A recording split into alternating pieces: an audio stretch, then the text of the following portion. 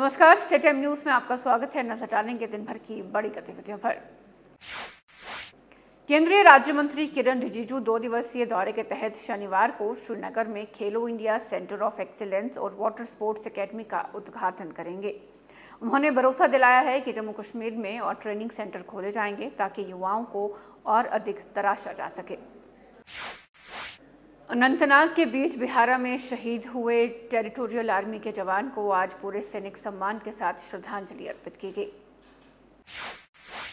Jammu Kashmir police ने Jammu airport से दो लोगों को गिरफ़्तार किया है और उनके कब्जे से इलीगली इंपोर्टेड 50 लाख की कीमत के सोने को जब्त किया है।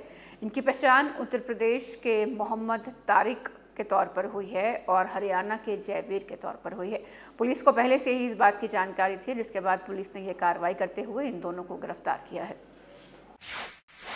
सांबा के गगवाल इलाके में दो गाँवों के बीच पड़ती एक खड में अचानक आग लग गई। लोगों की सतर्कता और फायर ब्रिगेड कर्मियों की सतर्कता की वजह से आग पर काबू पा लिया गया और कोई जानी या माली नुकसान नहीं हुआ।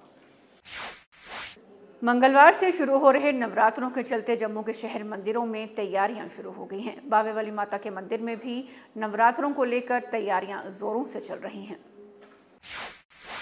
जम्मू कश्मीर में लगातार कोरोना संक्रमण के मामले बढ़ते हुए नज़र आ रहे हैं। श्रीनगर में आज एक प्राइवेट कोचिंग इंस्टीट्यूट में 19 स्टूडेंट्स जो वो पॉजिटिव पाए गए हैं। इसी के मद्देनज़र डीसी श्रीनगर ने ट्वीट करके एक जानकारी दी है कि श्रीनगर में दो और इलाकों को माइक्रो कंटेनमेंट जोन घोषित किया गया है। ये दो इलाके कॉलोनी रावलपुरा और चिंकरल मोहल्ला हब्बा कतल हैं। स्टेट टाइम न्यूज़ में आज बस इतना ही। कल फिर मुलाकात होगी। नमस्कार।